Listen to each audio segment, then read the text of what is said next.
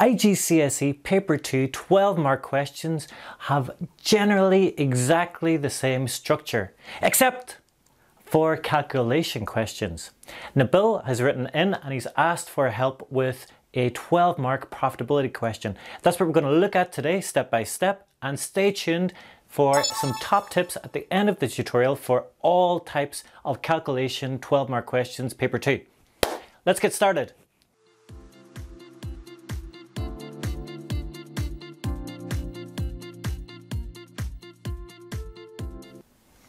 So we're going to look at a 12 mark question from paper 2 about profit. This question asks us which of the two additional services Bethany could choose between haircuts and steam room. So for the structure of this one, the normal 12 mark structure is to give one advantage explained in context and then one disadvantage explained in context. And then at the end, come to an evaluation choosing one. So explaining why one is more effective than the other. In this case, our context is, and most of the marks for this answer are going to come from our profit calculations. So let's get straight into those. And we find the correct information from the case study, which is this table, which shows the weekly forecast for the two possible additional services. So when you get a profit question, it will generally, all the information will be self-contained in one of the tables in the case study. So the first thing we're going to do is figure out what is sales revenue. So we multiply the additional customers by the average price charged per customer. We get 1,000 for steam room and 1,250 for haircuts. Then to calculate the gross profit, you've got to take away the cost of sales. So you can see there I've just written in the cost of sales, which comes directly from the table. And that gives us a gross profit of 960 for the steam room and 1125 for haircuts. So the next step is to find out profit to figure out profit, we've got to take away expenses. There's two expenses listed in that table, wages and lease of equipment. So we add those together and then we take that away from the gross profit to get the figure for profit. So there we got our uh, profit figure 500 for the steam room and 550 for haircuts. So we've now figured out the two profit figures, but we also have to go that step further if we want to get full marks in this question, and that's to figure out the profitability ratios. So what I normally do is write up the profitability ratio at the top of the page just to remind myself what the ratio is and then so I don't plug in the wrong figures whenever I'm going through the answer.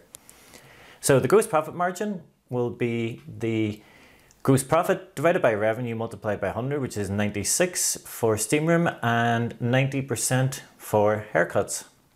And the net profit margin is exactly the same only instead of dividing Gross profit by revenue, we divide profit by revenue.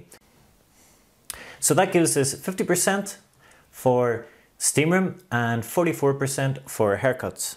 So with all of your calculations done, you've got the bulk of all of the marks for this question. You've just got to put your gross profit, profit, gross profit margin and profit margin into the correct section of the answer. But we can also make a short comment on the advantages and disadvantages based on those figures, the calculations you've just made.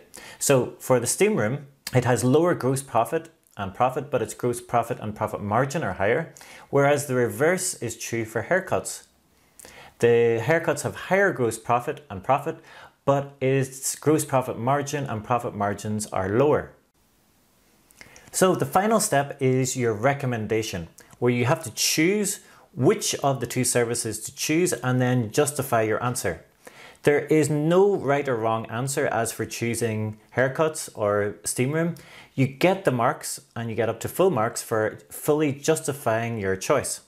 So what I've done is I've said, although haircuts have higher profit in absolute terms, because steam rooms have higher gross profit margin and profit margin, that means that they've got higher profitability. Okay, and what that profitability means is that in the long term, if Bethany increases her sales, she will have more profitability from the steam room as she will make more profit from each dollar of sales.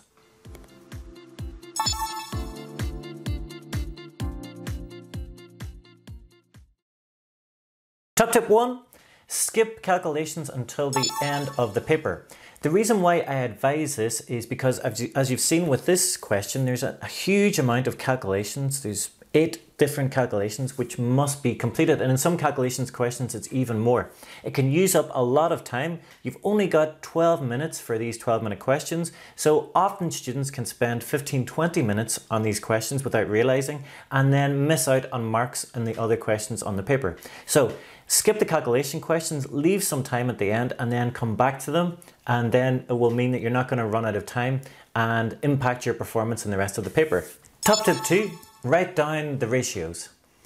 Whenever you're under time pressure in the exam, it can be quite easy to get confused in the formulas, especially if you don't have a reference whenever you're picking out the different figures from the case study. So if you write down the ratios or whatever calculation it is that you're doing, this means that you can follow it logically through, pick out the figures and then get the correct answer as a result. Top tip three, show your understanding of the concepts. So to get the top marks in calculation questions, it's not just a question of doing the calculations and saying the profit margin for haircuts is bigger than the profit margin for the steam room. What you need to do is explain what the profit margin means. So if the profit margin is higher for Bethany for haircuts than steam rooms, that means she's getting a higher percentage of profit for every dollar of revenue that she earns. So that is 12 mark calculation questions, paper 2 IGCSE, done. Don't forget to subscribe on YouTube to stay updated. I know most of you have, and I really appreciate that, but there's one or two, yeah, you at the back, and then, yeah, you over there, you haven't bothered to push, just push that little button. Yeah, good stuff. Um, it just, it really helps me out if you can do that. Okay, so thank you for watching, and I'll see you next time.